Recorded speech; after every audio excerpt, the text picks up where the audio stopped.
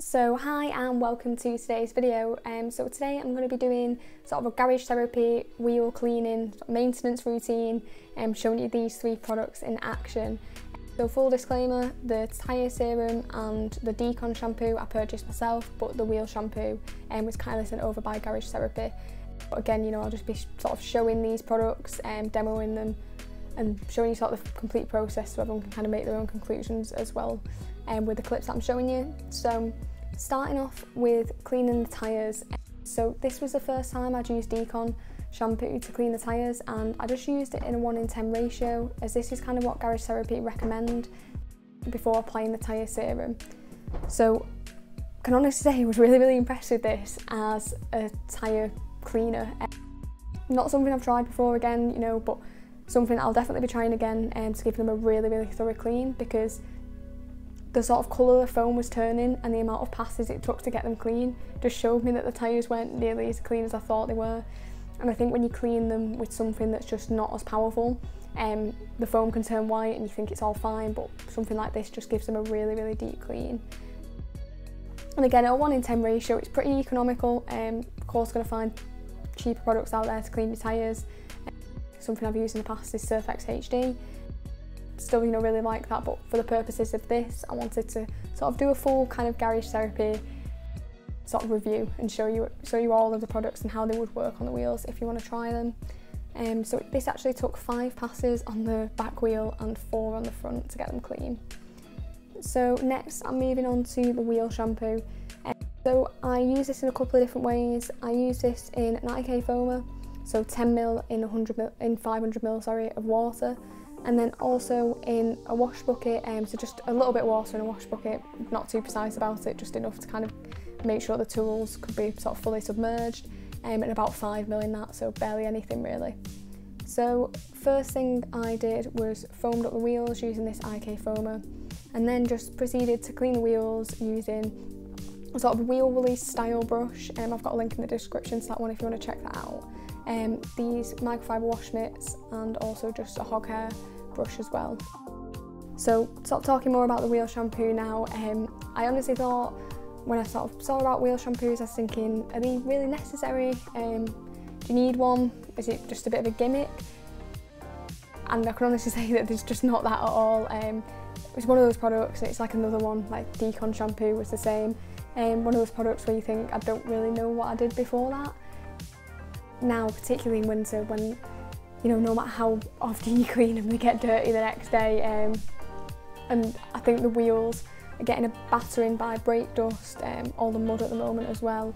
And having something that's specifically designed to clean wheels that has that added lubrication but also that added kick, I think it's really important. And it's you know, one of those might not be important if you don't care about your wheels as much, but you know, I, I like the alloys on my car. Um, I might get some diamond cut in the future, I'm not sure, but um, I do like them and I want to keep the finish nice and keep them looking shiny. I think It's important as well if you're dealing with sort of black polished rims as well, then you know, using something like this is just going to be even more important really, more noticeable. Um, so I think sort of having used this, my favourite way of using it is with this IK foamer. I thought it would be, again, a bit of a gimmick, but it just not at all. It makes the whole process easier, more enjoyable to be honest. Um, and I just think it does a good job and it's also very economical with the product as well. You don't end up using a lot, so you, can use 15 mil, but there's enough in the IK foamer to probably get you the next couple of wheels as well um, next time you wash the car. So it does a good job there too. So once I'd dried everything down and washed the rest of the car, um, I went ahead and applied the tyre serum. Um, so this is quite a loose liquid. It sort of it spreads very evenly across the tyres. It spreads quite quite easily. Um, it, you have to work reasonably fast um, because it can soak into the foam applicator if you are using one. Might try it with a microfiber next time. Um, you're not really wasting much product at all, but it's just something that I did notice. Um, but it spreads very nicely. The only time I say it wouldn't is if the tyres are still slightly wet, um, it tends to struggle a little bit more to spread quite evenly. Um, so the only criticism I have really in terms of the application of this is that I would prefer it if it was a flip cap design um, or even a pump. Uh, I think would make things slightly easier as when I sort of put the bottle down on these stones I'm a little bit worried about it tipping over and I'm sort of my, when my hands are a little bit messy, I have to put the lid back on.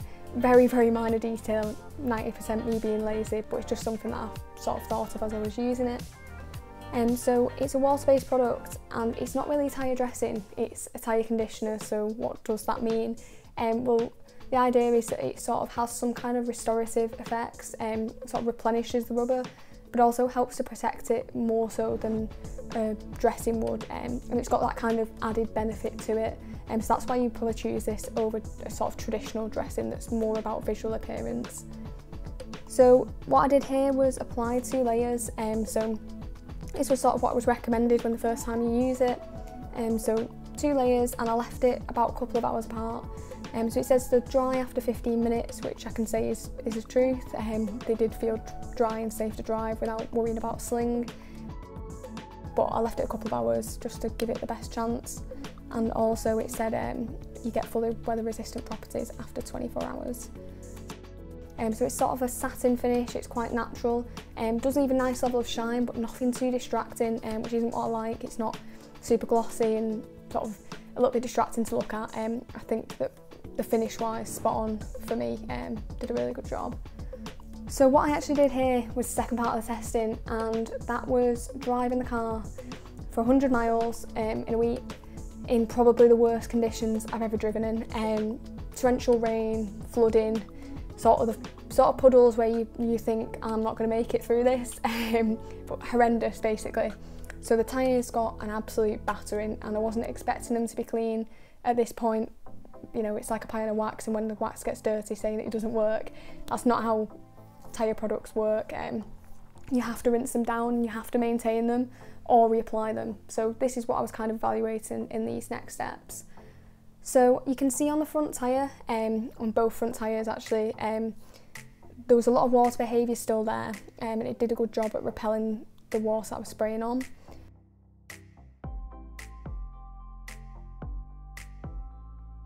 Um, on the back tyres, not so much, um, there wasn't really much water repellency after this. Um, being a rear wheel drive car, the rear wheels do get a lot more of a battering, um, so typically on most of the cars it probably be the other way around um, but on this one yeah it, it, it did struggle on the back um, so I wanted to then kind of wash them and see what it'd be like after a bit of a scrub down.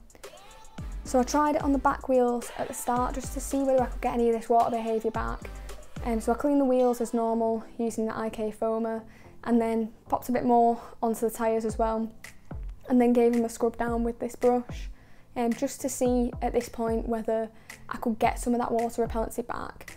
Um, so this is the wheel shampoo again, it's, it's more gentle than sort of attacking it with a sort of quite strong citrus pre-wash or again the decon is just probably going to remove it entirely.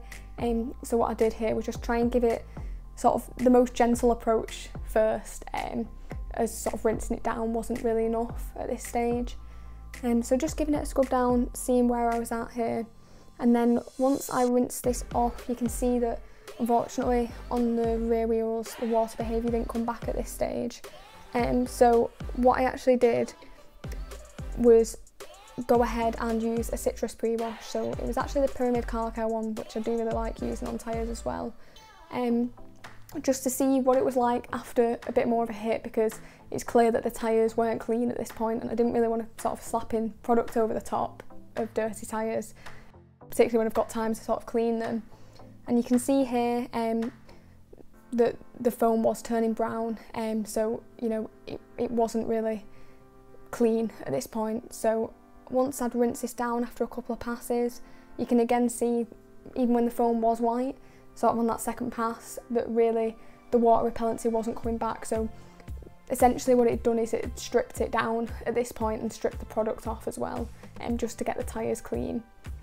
So then I went ahead and did the front wheels. Um, so still having that kind of water repellency there, what I wanted to see was could I get some of that finish back by just giving them a light scrub down. So again, just went in with this Garage Therapy One Wheel Shampoo and just giving it a scrub on the tyres and seeing what we could get back.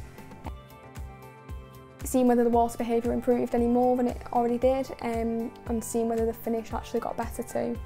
Um, so when I rinsed it down, there wasn't too much of a change in water behaviour. it was clear that the wheel shampoo hadn't stripped that product away, um, which was encouraging. It's good as a maintenance product, and um, you could use that. But then I would say that the tyres probably weren't as clean as I probably would have liked them at this point, and I prefer just to give them a real scrub down with a citrus pre-wash. So you can sort of see here what it looked like on initial application and what it looked like post sort of wash with each kind of technique. So I think you can tell really on the kind of on the first pictures where it was on the front wheel and um, that post wheel shampoo there was still a little bit of a sheen there, still a little bit of that finish, um, but particularly in comparison to the original photo, a lot of that finish had gone. And um, you can see on the second photos, um, the citrus pre-wash had removed the product entirely at this point, just to leave the sort of clean tyre. Um, so I'd say, if I'm totally honest, in both circumstances, I would want to reapply the product. I don't think that it sort of is a product in these kind of conditions that I was testing it in and again it was probably the worst conditions to test it in that it was something that I wouldn't have to reply um, I think that it does need topping up. In summer it'd be very interesting to see whether this actually lasted and you could just give it a light scrub down or a light spray sort of towel dry it off and how it would look. Um, but at this kind of time of year testing it in probably the worst conditions possible. So it was I think it did better than other sort of tyre dressings I've tried and those added benefits of it being a conditioner rather than a dressing I think are beneficial. I think as well the finish that it left behind is just stunning. Um, it's really spot on for me and I think it look good on all tyres. What I'm interested to try next is actually testing this on tyres that aren't in as good a condition as mine I've got um, family's car that I know the tyres are absolutely horrendous, so I'll be very interested to try that and sort of see how I get on. Um, but if you want to kind of see some more updates on this, then I will be posting these on my Instagram, um, so I'll leave a link for that below. Um, but I hope you have enjoyed this video, hope you found it helpful. If you have, um, be fantastic if you give this video a like. Comment down below if you tried this product, um, if you tried any of the products, let me know how you got on with them too. Um, but thanks very much for watching and I'll see you next time.